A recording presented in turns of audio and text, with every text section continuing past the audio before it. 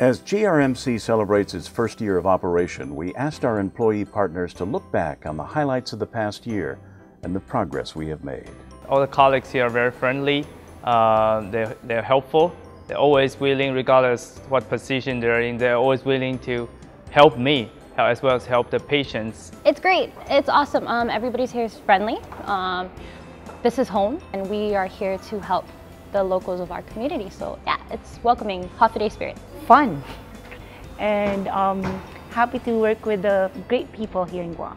More and more departments open up. Uh, the staffs, initially some of them, they're new, uh, but they were willing to learn their uh, overall package, everything is getting better. And I think we came a long way from the beginning. I mean, starting off with the specialties and everything else, I mean, we opened our doors to everybody. The staff and the way we welcome the patients and the services that we provide.